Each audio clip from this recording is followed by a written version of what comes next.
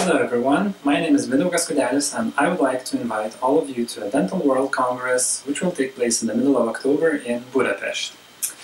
I will be presenting at the Aesthetic Congress and I will talk about direct posterior restorations. I'll share you my story on how to become better and more confident and what things are the most important in the daily workflow. Hope to see you all there